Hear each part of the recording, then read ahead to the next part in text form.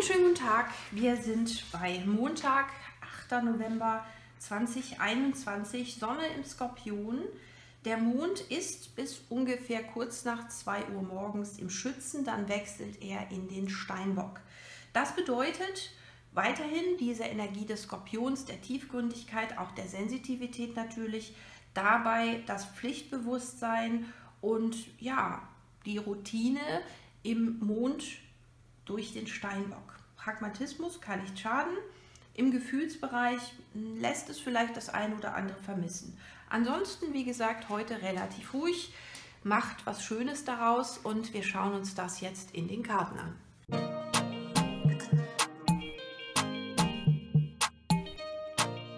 Einen schönen guten Tag, mein lieber Widder.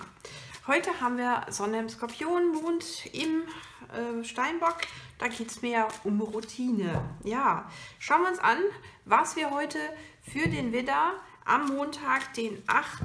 November 2021 so haben. Wie sieht's aus? Sechs der Erde, ausgewogenes Geben und Nehmen, das ist gut. Keiner wird übervorteilt.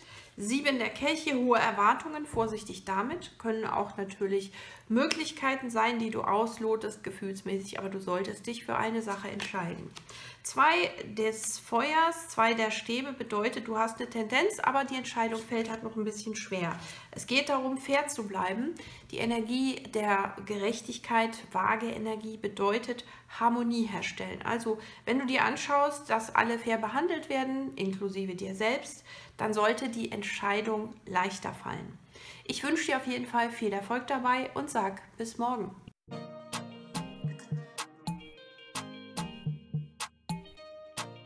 Einen schönen guten Tag, mein lieber Stier. Wir sind beim Montag, 8. November 2021. Sonne im Skorpion, Mond im Steinbock. Da geht es nach Routine, denke ich mal. Also alles nach Plan. Sich nicht reizen lassen, auch nicht, ja, schauen wir mal. Schauen wir erstmal, was wir haben für den Stier. Drei der Erde, Teamplay. Wir arbeiten zusammen. Das ist gut. König der Erde, du bist so richtig in deinem Element. Das ist schön. Und der Mond. Ein paar ungute Gefühle kommen auf. Ja, was hat dich schon lange gestört? Oder wo bist du dabei, dass du sagst, ich möchte das unbedingt ändern? Ja, aber wie gesagt, du brauchst Geduld dafür. Du brauchst wirklich Geduld. Die haben wir auch hier äh, mit dir selbst, der Situation und natürlich mit deinen Mitmenschen. Das bekommst du hin und ich denke, du hast ja schon einiges erreicht, fühlst dich wohl in deiner Haut, auch wenn du, wie gesagt, ein paar ungute Gefühle hast. Aber verlass dich auf deine Intuition und natürlich ein bisschen geduldig sein. Viel Erfolg dabei und bis morgen.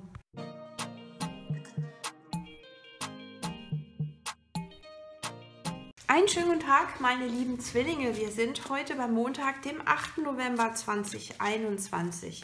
Schauen wir uns an, bei Sonne im Skorpion und Mond im Steinbock, da geht es mir so nach Routine, nach dem Alltäglichen. Was haben wir für die Zwillinge heute? König der Luft, dein Element, Klarheit und Wahrheit kann jemand sein, der dir Dinge mitteilt, Erkenntnisse, vielleicht bist du auch gerade heraus, sagen wir mal, das solltest du aber Acht geben. Wir haben die Zehn der Erde, Stabilität und Sicherheit, da ist die Erdenergie. Wir haben ja heute viel Erdenergie, also du bist stabil und sicher. Sieben der Erde heißt, du kümmerst dich auch um die Details, das ist sehr, sehr gut. Das bringt dich auf jeden Fall weiter. Und mit der Sechs der Erde kannst du für Harmonie und Ausgewogenheit sorgen. Wenn du, sagen wir mal, verbal jetzt nicht zu krass rüberkommst, also dich da so ein bisschen, bisschen zurückhältst, ja, sollte das kein Problem sein, dann passt das. Dann kümmerst du dich um die Details, stürzt dich in deine Arbeit und äh, dann wird das alles auch heute in pragmatischer Energie gut vorangehen. Viel Erfolg dabei und bis morgen.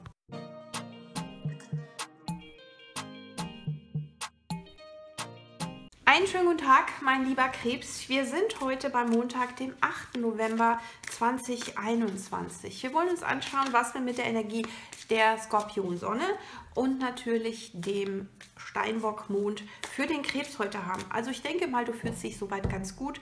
Nur vielleicht die Routine, das Alltägliche. Schauen wir uns das mal an. Wir haben die Neun der Erde. Neun der Erde, Pragmatismus natürlich, kurz vor dem Durchbruch, denn das wäre die 10. Es ist sich um sich selbst kümmern, um das eigene Individuum unabhängig von anderen und natürlich Stück für Stück langsam machen. Königin des Feuers ist die Energie des Optimismus, der positiven Energie, dran zu bleiben, nicht aufzugeben, sich zu kümmern, kameradschaftlich unterwegs zu sein. Wir haben die Sieben der Luft. Die Sieben der Luft kann bedeuten, dass etwas nicht erkannt wird, dass du etwas nicht weißt. Das muss nichts Schlimmes sein. Wir haben auf jeden Fall hm, hier ein paar Dinge, die im Verborgenen sind. Sieben der Schwerter ist immer die sogenannte Diebstahlkarte. Etwas ist nicht vorhanden oder wird verdeckt, wird nicht klar ausgedrückt oder äh, spielt sich im Hintergrund ab. Das kann natürlich auch Lüge sein, es kann auch Intrige sein, es kann auch ähm, schlechtes Gerede sein. Wir haben die Neun der Stäbe, du musst aufpassen mit den Neun der Stäbe, dass du dich nicht verausgabst. Denn es bedeutet, dass möglicherweise jemand deinen guten Glauben, deine Arbeitskraft oder eben dein Engagement in irgendeiner Form ausnutzen könnte und dass du da zu viel Energie hineinbringst, die sich aber nicht auszahlt. Also sei dir bewusst, dass du entscheidest, wie du damit umgehst. Wenn du gewisse Dinge nicht weißt, ist das nicht schlimm, aber du musst jetzt nicht versuchen, da unbedingt hinter die Kulissen zu blicken. Andersrum könnte man auch sagen, lass dich nicht ausnutzen von anderen und vor allen Dingen ähm, versuche deine Energien vernünftig einzuteilen. Kameradschaft, Zusammenhalt, Optimismus ist gut, aber lass dich nicht vor irgendeinem Karren spannen. Das ist wichtig. Ich wünsche dir viel Erfolg dabei und sag bis morgen.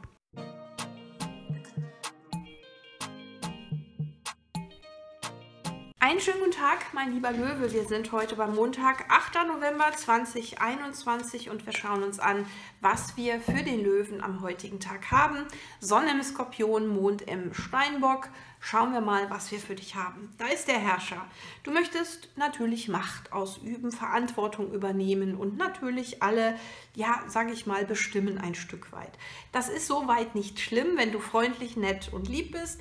Aber wie gesagt, es wird vielleicht nicht jeder da mit Begeisterung dabei sein. Der Herrscher ist ja nicht nur negativ, dass er andere ja, ich sage jetzt mal bestimmt, er ist ja der geborene Führer, sondern es geht darum, dass man eben ja ein Stück weit auch Feingefühl mit reinbringt. Wir haben den König der Schwerter, das ist Klarheit und Wahrheit. Es könnte auch ein Vorgesetzter von dir sein, der klare Worte mit dir spricht oder ein Mitarbeiter, Kollege, wie auch immer, der ganz klare Ansagen macht. Und wir haben die drei der Münzen. Es geht um Teamwork oder Zusammenarbeit, dass man gemeinsam am gleichen Strang zieht.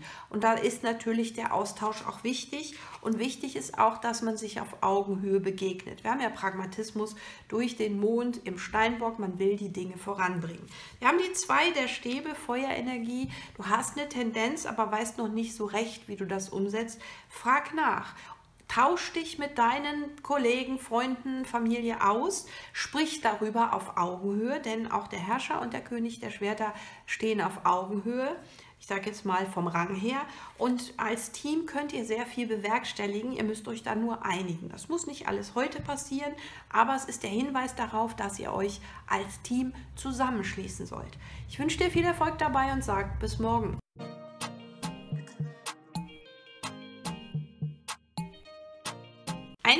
Tag, meine liebe Jungfrau. Wir sind beim Montag, 8. November 2021, Sonne im Skorpion, Mond im Steinbock. Das kommt dir sehr gelegen, denn du magst Pragmatismus, du magst Dienst nach Vorschrift und Routine. Das ist für dich Ordnung, das ist für dich etwas, woran du dich halten kannst. Schauen wir uns an, was wir heute für die liebe Jungfrau haben. Den Stern, Wassermann-Energie, Heilung, Klärung vielleicht auch, Ruhe, wir haben den König der Stäbe, Feuerenergie, Leidenschaft, an den Dingen dranbleiben. Da fühlst du dich wohl, habe ich ja schon gesagt, dass die Dinge vorangehen. Es ist auch Kameradschaft, es ist dabei nicht aufgeben, diese Dinge. Wir haben das Ast der Kelche, sich um dich kümmern. Also du sollst dich darum kümmern, dass du Freude hast bei dem, was dir so, was du machst und wie du das machst, dass du auf deine Gesundheit achtest, dass du darauf achtest, dass du gute Laune hast, dass dir das Freude macht. Die Heilung beinhaltet ja immer auch das Wohlbefinden von Körper, Geist und Seele. Das bedeutet, dass alles möglichst im Einklang ist.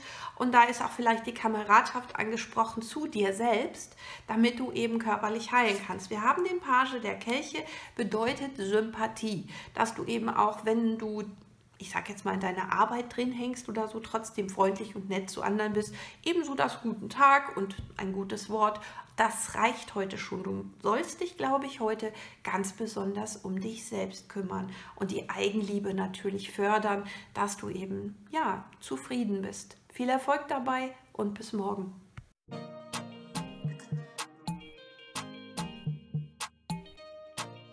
Schönen guten Tag, meine liebe Waage. Wir sind heute bei Montag, dem 8. November 2021.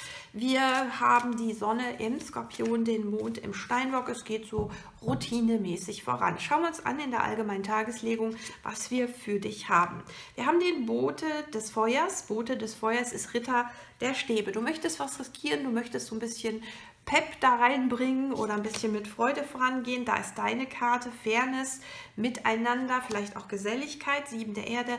Heute ist es wichtig, sich auch um die Details zu kümmern, sich um Nebenkriegsschauplätze, um das Kleingedruckte, sage ich immer, zu kümmern, daran da zu schauen. Also Ausgleich zwischen wir sind gesellig, wir, wir machen ein bisschen Spaß oder wir sorgen dafür, dass ein bisschen aufgelockert wird und der Routine und dem, was eben getan werden muss. Da musst du deinen Mittelweg oder solltest du deinen Mittelweg finden. Wir haben die Königin der Stäbe, Feuerenergie, das ist Kameradschaft, das ist also auch anderen helfen, das ist dranbleiben, sich kümmern, dass das alles fair auch läuft, dass man eben auch anderen zur Hand geht oder sich auch um Hilfe bemüht, wenn man die braucht. Also Details zwischen den Zeilen lesen gehört auch dazu.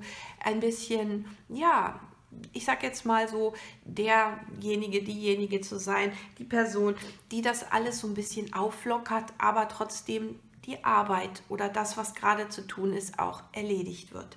Ich wünsche dir viel Erfolg dabei und sag bis morgen.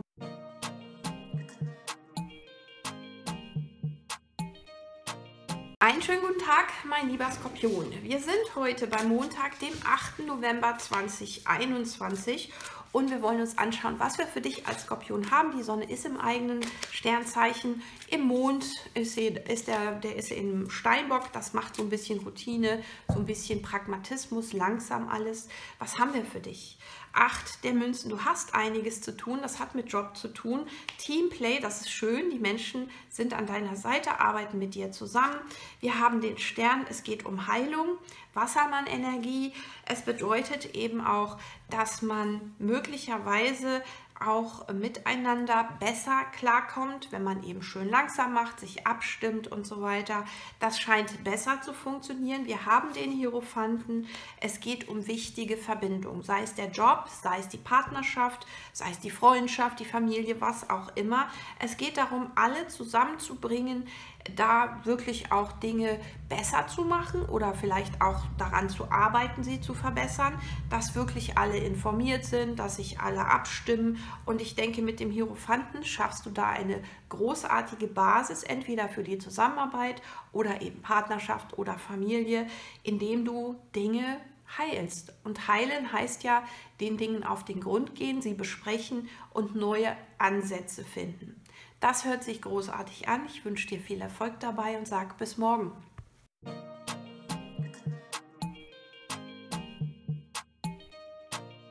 Einen schönen guten Tag, mein lieber Schütze. Wir sind heute beim Montag, dem 8. November 2021. Sonne im Skorpion, Mond im Steinbock bedeutet Pragmatismus, manchmal auch ja, tiefgründiges oder tiefergehendes Wissen. Wir schauen uns an, was wir für den Schützen am heutigen Montag haben. Wir haben die Zehn der Erde, Stabilität und Sicherheit, finanziell, aber auch in Beziehungen. Wir haben das Ast der Kelche, Eigenliebe, sich kümmern um sich selbst, seine Eigenliebe stärken da ein bisschen mehr dran arbeiten. Wir haben die Sieben der Luft, das Unbekannte, das, was du nicht weißt oder was vielleicht in anderen Bereichen stattfindet.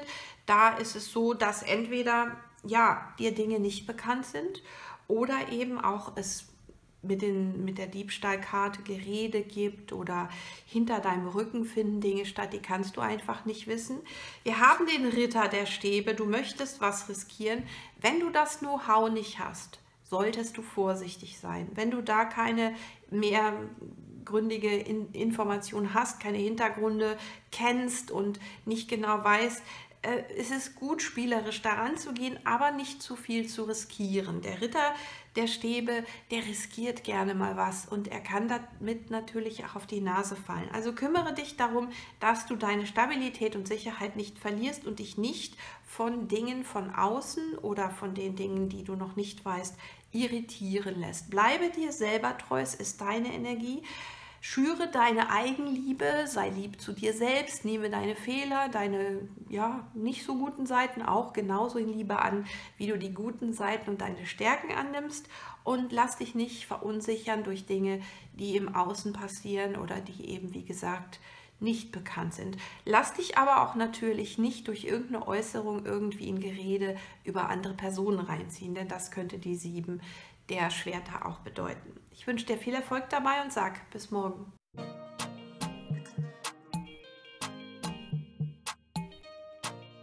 Schönen guten Tag, mein lieber Steinbock. Wir sind heute beim Montag, 8. November 2021. Die Sonne im Skorpion, der Mond im Steinbock, das kommt dir zu Pass, weil Energie des Steinbocks ist ja, sich um die Routine kümmern, sich in dem Gewohnten wohlzufühlen. Was haben wir heute für den Steinbock? Wir haben die Liebe, schön. Liebevolle Energie und Liebe ist nicht nur gemeint jetzt in Liebesbeziehungen, sondern auch zu einem Haustier, zum Partner natürlich, aber auch oder Partnerin zu dem, was du gerne tust, zu dir selbst, zu dem, was dir Freude macht. Wir haben die sieben der Erde, da gibt es viel zu entdecken. Sieben der Münzen bedeutet, sieh dich genau um, schaue auch auf die Kleinigkeiten. Der Gehängte besagt, verschaffe dir einen Überblick. Ich glaube, das bedeutet einfach, du bist aufgefordert, dich umzuschauen, was du liebst, was dir Freude macht, was dir wichtig ist, ja. Und ähm, da solltest du auch die Kleinigkeiten bedenken, wenn ich die sieben der Münzen sehe. Und was haben wir noch? Wir haben die sieben der Stäbe für sich selbst einstehen. Diese Dinge vielleicht benennen, diese Dinge auch aus der Sicht der anderen sehen. Also vielleicht auch, was andere gerne mögen, sich vielleicht auch mit Gleichgesinnten zusammentun, sowas in der Art. Für sich und seine Belange einzustehen ist sehr gut, seinen Standpunkt zu vertreten ist sehr gut, aber eben auch liebevoll sein und die Kleinigkeiten, das drumherum eben mit zu betrachten und eben auch zu schauen, wo stehe ich eigentlich selbst. Ich wünsche dir viel Erfolg dabei und sag bis morgen.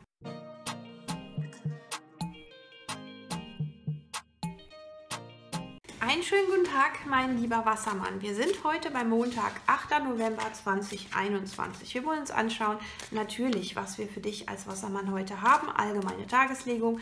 Sonne ist im Skorpion und Mond im Steinbock. Sieht so aus, als ob alles so ein bisschen routinemäßig vorangeht. Was haben wir? König des Wassers, König der Kelche, das ist die skorpionische Energie. Bedeutet, mit Charme erreicht man mehr. Meistens ist es so, dass jemand halt etwas tut, weil er eine Agenda hat, also Dinge, die er vorhat. Das kannst du sein oder dein Gegenüber. Wir haben die zwei der Kelche sich auf Augenhöhe begegnen. Das ist sehr schön. Das bedeutet, man hat Respekt voreinander, man hört sich zu. Das gilt natürlich nicht nur für Liebesbeziehungen, sondern auch im Job oder in der Freundschaft oder in der Familie. Man lässt den anderen die andere ausreden und man hört aufmerksam zu und ja, man gibt halt Zeit für diese Person, weil das wichtig ist. Umgekehrt natürlich genauso. Wir haben die Neuen der Kelche, das ist genau das, was du brauchst. Das ist genau das, was du möchtest. Liebevolle Energie, das ist deine Wunscherfüllung, sich wirklich mal auf Augenhöhe zu begegnen, sich näher zu kommen. Vielleicht sind da auch ganz große Gefühle im Spiel, durchaus möglich. Wie gesagt, es geht nicht nur um Liebesbeziehungen, es kann auch im Job sein. Vielleicht geht es darum, einfach mal zu äußern, wie sehr du deinen Job magst und wie gerne du vielleicht auch weiter was machen würdest und jemand bietet dir etwas an, wäre auch eine Möglichkeit. Das ist jetzt nur ein Beispiel. Wir haben die fünf des Feuers, fünf der Stäbe, da ist entweder Misstrauen drin, innere Unsicherheit. Fünf der Stäbe ist so immer so der innere Konflikt. Das ist kein Streitgespräch oder so wie die fünf der Schwerter. Es ist mehr so Wettbewerb, ja. Vielleicht ähm, geht es darum, dass du dein Gegenüber entweder als Wettbewerber oder Mitbewerber siehst oder dass es auch ein Stück weit, weil wir haben ja die skorpionische Energie, um Macht und Ohnmacht geht. Dass du Angst hast, wenn du zum Beispiel Gefühle zeigst oder dich so ein bisschen dazu ja, äußerst, dass man das ausnutzen könnte. Wäre auch ein Beispiel, dass, man, dass du das als Schwäche auslegst. Das solltest du nicht tun. Du solltest dir vorher darüber klar werden, wie wichtig dir die Sache oder die Person auf jeden Fall ist. Und dann solltest du auf jeden Fall auch dieses Ziel verfolgen, wenn es dir am Herzen liegt. Es ist keine Schande und es ist keine Schwäche, Gefühl zu zeigen. Auch liebevolle Gesten, Kleinigkeiten können dazu beitragen, dass du deine Wünsche und Ziele erreichst. Ich wünsche dir viel Erfolg dabei und sag bis morgen.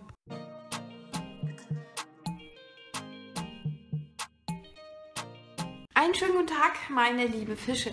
Wir sind heute beim Montag, 8. November 2021 und wir schauen uns an, was wir für die Fische am heutigen Montag so haben. Mit der Sonne im Skorpion und dem Mond im Steinbock geht es natürlich auch um Routine, das Alltägliche.